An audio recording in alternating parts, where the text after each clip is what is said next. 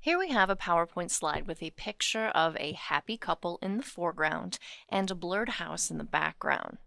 As is, we really don't know why the couple is so happy, but if I advance the slide, notice what happens.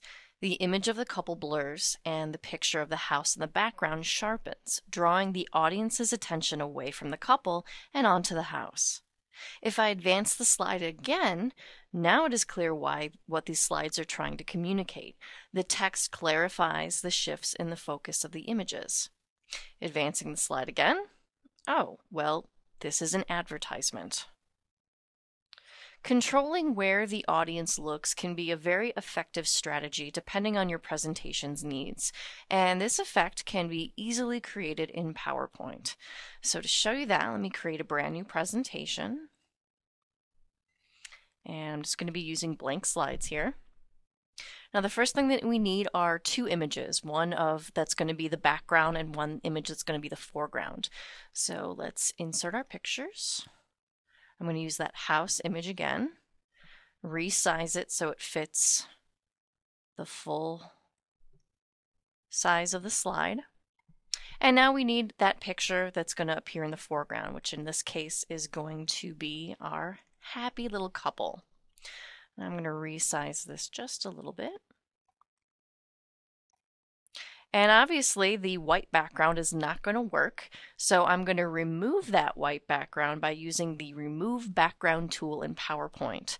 So on my Picture Tools Format tab in the Adjust group, if I click on Remove Background, I can resize the frame and then choose what areas I want to keep. I want the guy's shirt, definitely.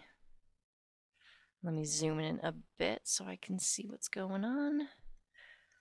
Make sure all of his shirt is showing. And the rest of the image looks good. All right, keep changes. And zoom out. And maybe make them a little bit. Meh. Let's go about there. Now that I have my two images set and sized where I want them to go, I want to duplicate the slide. So now I've got two copies of the exact same slide. But we're not done yet. Going back to slide one, first I want the image of the background of the house to be slightly blurry. So I need to select that image. And if I go to my Picture Tools Format tab, and in the Picture Styles group, if I click that more, that Format Shape dialog box launcher, click that button. Here is my Format Picture dialog box. And on the picture corrections area at the very top, you should see options for sharpen and soften. And I'm going to soften this photo by 30%, and I can use either the slider or I can use the up and down arrows to adjust that. So as you can see, it just makes the background a little softer, blurry. Once I have that, close and go to the next slide. Now I want to do the opposite. I want to make the picture in the foreground or that happy couple blurry. So same thing. Um, this time I'm going to right click and go to Format Picture.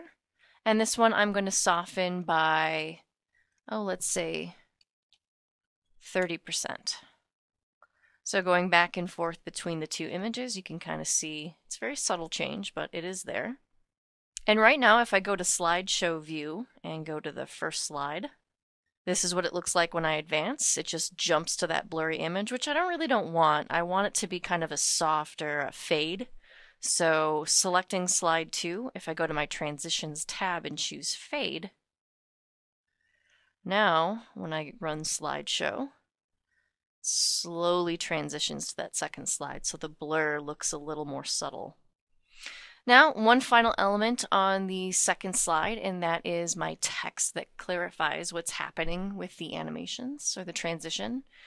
So I'm going to add a rectangle, and I'm just going to color that black for now.